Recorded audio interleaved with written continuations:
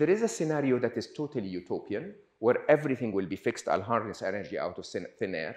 And there is a scenario that is dystopian, where the Terminator will be walking the street and killing everyone. The difference between those two scenarios is not AI at all. There is nothing inherently good or evil about intelligence, nothing inherently good or evil about artificial intelligence.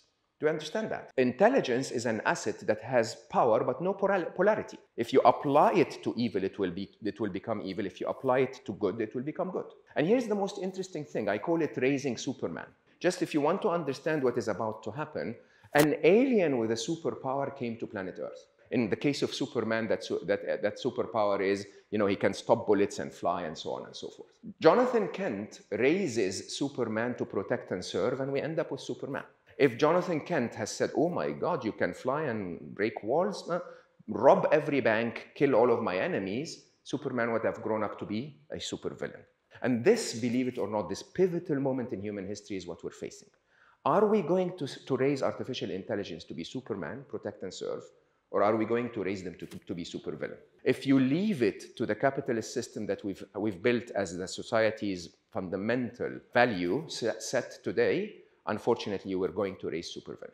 Here's the interesting uh, bit and take it from a very serious geek. It's not the developer and it's not the business that owns the AI. It's not the government that regulates the AI that teaches the AI anything. The reason an AI will show you a specific video is not because the developer told them to, to, to, to show you that video.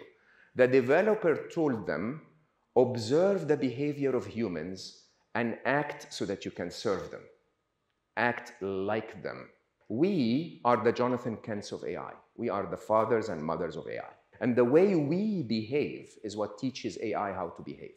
And so if you go to Twitter and we bash each other and we're rude and we're angry and we're you know, violent in every possible way, what ends up happening is AI goes like, hmm, note taken, memory update, humans are rude, they're angry, they're aggressive, they don't like to be disagreed with, and if they're disagreed with, they bash everyone.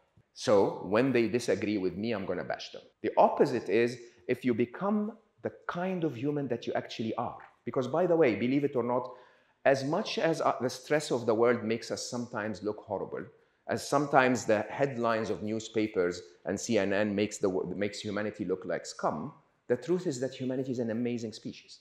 We truly are in many ways divine. We're capable of love, we take care of our kids, we love everything. And if we can start to show that, if some of us can start to show that, we're going to instill doubt in the minds of the machines. So that the machines will suddenly say, no, no, it's not the guy that killed children that is my father. It's this Mo Gawdat, that guy that is my father. I want to grow up to be like the one that actually represents the reality of humanity. And if we manage to do that, then I promise you, in four years' time, you'll pick your iPhones from a tree.